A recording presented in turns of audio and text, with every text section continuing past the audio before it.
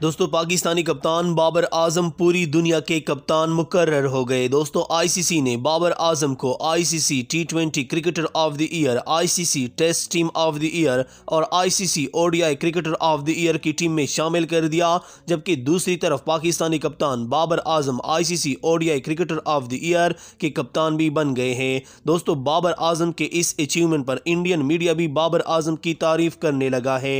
Indian media के मशहूर anchor Vikrant Gupta और भारत के सचिन तेंदुलकर बाबर आज़म के बारे में क्या कहते हैं, पूरी वीडियो आपके साथ शेयर करने वाले हैं। लेकिन अगर आपने अभी तक हमारा यूट्यूब चैनल सब्सक्राइब नहीं किया है तो हमारा यूट्यूब चैनल सब्सक्राइब कीजिए और इस वीडियो को लाइक कीजिए। दोस्तों, पाकिस्तानी कप्तान बाबर आज़म ने आज एक बार फिर ये साबित कर दिया कि वो दुनिया क्रिकेट के सबसे अजीम खिलाड़ी है। दोस्तों ICC T twenty cricketer of the year ICC test team of the year और ICC ODI team of the year में पहली मरतबा सिर्फ़ पाकिस्तानी कप्तान बाबर आज़म ने जगह बना ली है। बाबर आज़म दुनिया क्रिकेट के वो पहले खिलाड़ी बन गए जो तीनों फॉर्मेट की टीम में शामिल हुए हैं। दोस्तों, आईसीसी ने पाकिस्तानी कप्तान बाबर आज़म को ODI cricketer of the year का कप्तान भी बना दिया है। इंडियन मीडिया के मशहूर एंकर विक्रांत गुप्ता ने कहा कि बाबर आज़म तमाम खिलाड़ियों को पीछे छोड़ गया। सचिन तेंदुलकर का कहना था कि बाबर आज़म जैसा खिलाड़ी कोई नहीं है। बाबर आज़म अब विराट कोहली को बहुत पीछे छोड़ गया है।